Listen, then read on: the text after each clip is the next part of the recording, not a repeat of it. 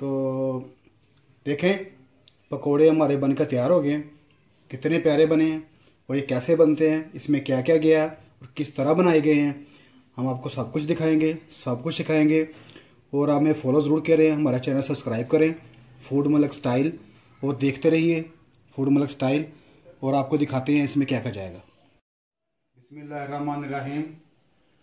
वालेकुम मैं मोहम्मद आसिफ आप देख रहे हैं फ़ूड मलक स्टाइल। आज हम बनाएँगे बेसन के पकौड़े। यहाँ मौसम बहुत प्यारा है। बादल छाए हुए हैं, हल्की हल्की बारिश हो रही है। बड़ा ही प्यारा मौसम है और इस मौसम में पकौड़े खाए जाते हैं, ठीक है? और घर से बाहर मत निकलिए कोरोना वायरस की वजह से। अब घर पे रहें। हम आपको रेसिपी बता रहे हैं, घर पे हमारे अपने बैठ के रेसिपीज़ बनाएँ, खाएँ एंजॉय करें और घर से बाहर ना निकलें। इसमें आप ही की सेफ्टी है। ओके और चलते हैं हम रेसिपी की तरफ़। तो हमने पाँच अदद आलू लिए हैं पोटैटो इसको चुकेर शेप में काट लिया देख सकते हैं आप। और एक प्याली हमने मैदा लिया है, और एक प्याली हमारे पास बेसन है। ये इक्वल होंगे दोनों।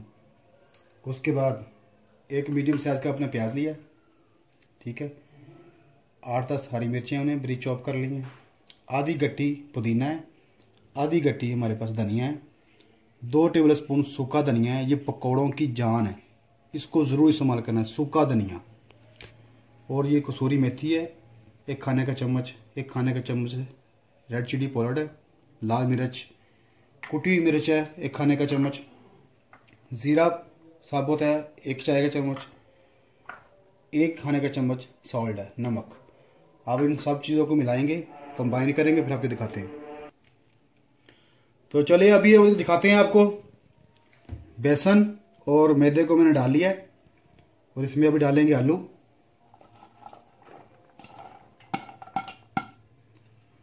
हाथ को अच्छे से साफ़ करना है अपने। अच्छी तरह साफ़ करके उसके बाद इसको ये काम करना है अपने। अब इसमें प्याज डालेंगे। सॉल्ट, नमक, जीरा कुटी हुई मिर्च, red chili powder, green chili,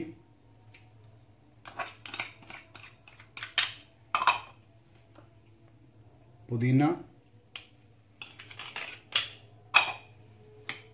सूखा धनिया।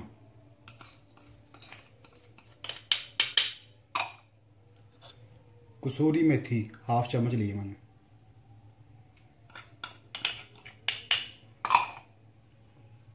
धनिया।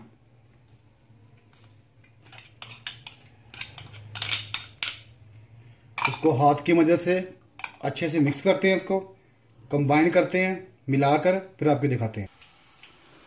तो अब चले, हमारा जो बैटर है, मुकम्मल तैयार हो चुका है। हमने हाथ की मदद से इसको अच्छे से मिक्स कर लिया है और ज़बरदस्त कर लिया है, ठीक है? हमारा अभी घी जो है, वो गर्म हो चुका है। और अब इसमें हम पकोड़े निकालेंगे आप चम्मच की मदद से निकाल सकते हैं, लेकिन मैं तो हाथ से काम करता हूँ भाई। ठीक है, मैं तो हाथ से निकालूँगा। ठीक है, और बिस्मिल्लाह करते हैं। ऐसे हाथ की मदद से आपने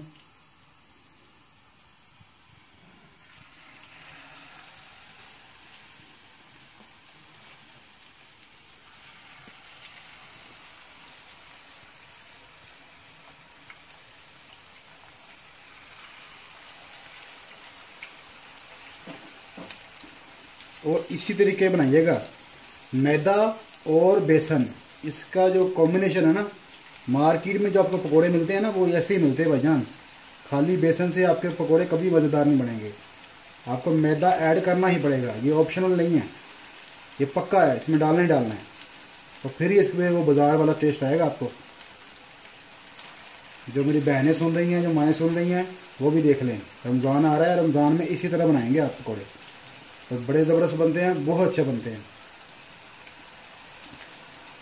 ठीक है? इसी तरह से डालेंगे। ये मैं डाल दिया मेरे हाथ देख लें। ठीक है? हाथ से काम किया करें तो अच्छा होता है, लेकिन हाथ को अच्छे से मार चाहिए अच्छे तरीके से। तो ये हमारे अभी पकौड़े अभी फ्राई हो रहे हैं। अभी इनकी साइड चेंज करके देखते हैं।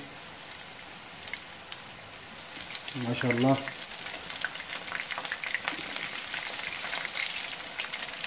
देखिए कितना प्यारा, खूबसूरत कलर आ रहा है इसका। इसको ज़्यादा ब्राउन नहीं करना। लोग गलती करते हैं, इसको बहुत ज़्यादा फ्राई कर लेते हैं। इसको डीप फ्राई नहीं करना। हल्का सा फ्राई करना होता है बस। कलर आ जाए और ये बेहतरीन तैयार है। ये देखिए कोई जुड़ा हुआ नहीं है। अलग अलग है एक एक नज़र आ रहा है आपको, ठीक है? इसी तरह से बनाने हैं। और इसी तरह बनाकर इसको सर्व कीजिएगा। और मेरे भाई, मेरा चैनल फ़ूड मलक स्टाइल ज़रूर सब्सक्राइब कीजिएगा, दोस्तों से भी बोलिएगा और लाइक करिएगा और अपने दोस्तों से शेयर ज़रूर कीजिएगा। तो फिर अब हम सारे निकाल निकाल लेते हैं पकौड़े ऐसे ही। इसी तरह निकाल के फिर आपको दिखाते हैं। तो नाजरीन, देखें अभी हमारे जो जो पकौड़े थे, नन्हे नन्हे, मुन्ने मुन्ने, कितने प्यारे फ्राई होकर तैयार हैं। ये हमने गार्शिंग की है, थोड़ी हरी मिर्चें लगाई है, पुदीना, धनिया का पत्ता लगाया, थोड़ा टमाटर किया। आप भी जब मेहमानों के आगे ऐसे पेश करें ना तो इसी तरह इसको सजा के बुझा के दुल्हन की तरह सजा के पेश किया करें। इससे आदमी की और इज़्ज़त बढ़ती है। ठीक है? पता चलता है लोगों को वाकई को कुछ पता है। तो अब आपको दिखाएँगे कैसे बने हैं। कर दो। तो अभी हम आपको खा के चेक कराएँगे कि बना कैसा है। माशाल्लाह कितना क्रिस्पी है और ज़बरदस्त है। तो अभी हमारे चैनल को आपने लाइक और शेयर और सब्सक्राइब ज़रूर करना है। अगर आपको ऐसी ऐसी डिशें चाहिए, ज़बरदस्त, डेली बेसिक पे तो हमारे चैनल को सब्सक्राइब करें। हमारे चैनल का नाम था फ़ूड मलक स्टाइल और आप देख रहे थे मोहम्मद आसफ को। और ये हमारे जो पकोड़े हैं, माशाल्लाह बहुत ही बन के तैयार अच्छे हुए हैं। तो फिर हमें फॉलो कीजिए और रोज़ रोज़ नए नए रेसिपी लीजिए और लाइक शेयर ज़रूर कीजिए और खुश रहिए, बात रहिए। इसी के साथ मुझे इजाज़त दीजिए।